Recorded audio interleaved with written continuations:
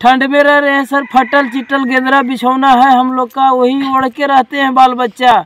इन्हें से हवा मारता है उन्हें से हवा मारता है टूटल झोपड़ी है हम लोग का। कम्बल के व्यवस्था पर नहीं है सर कुछ नहीं है। ठंडा में कुल बाल बच्चे मर रहे हैं। खबर से पूरा ज़िले के हसलगंज मोहल्ले की है जहाँ हसलगंज मोहल्ले में सैकड़ों सफ़ाई कर्मी झोपड़ी बनाकर निवास करते हैं। साथ ही पूरे ज़िले का साफ़ सफ़ाई का जिम्मा उठाए हुए हैं।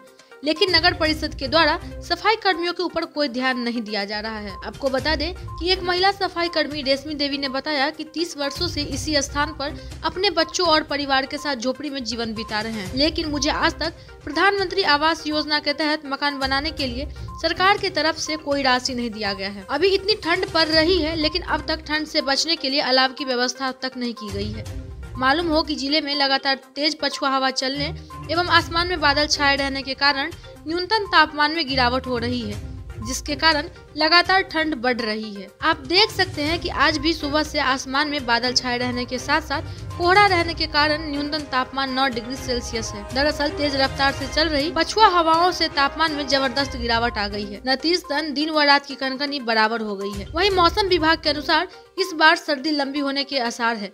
मिली जानकारी अनुसार पिछले साल की तुलना में इस साल ज़्यादा दिनों तक ठंड पड़ने की संभावना है। शेखपुरा से धर्मेंद्र कुमार की रिपोर्ट। ठंड में कैसे रह रहे हैं?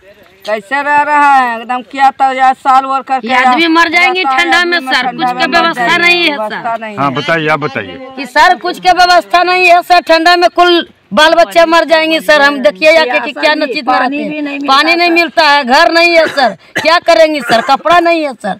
की करके बच्चे कम्बल वगैरह कोई व्यवस्था दिया है? कम्बल के व्यवस्था फिर नहीं है सर। कुछ नहीं है। ठंडा में कुल बाल बच्चे मर रहे हैं।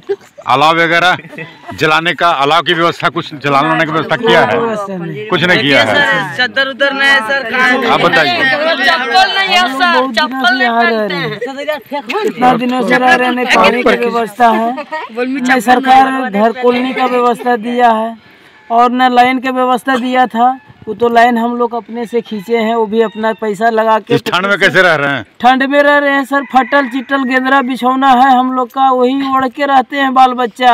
इन्हें से हवा मारता है उन्हें से हवा मारता है टूटल झोपड़ी है हम लोग का। रहने आप लोग रहिए क्या व्यवस्था है पूछेंगे अभी।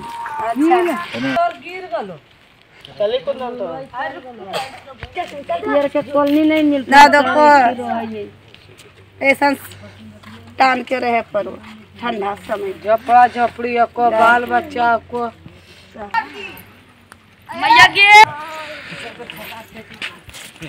की करबो दे दो कल कोलनी तोलनी कैसे रोए कुल्हे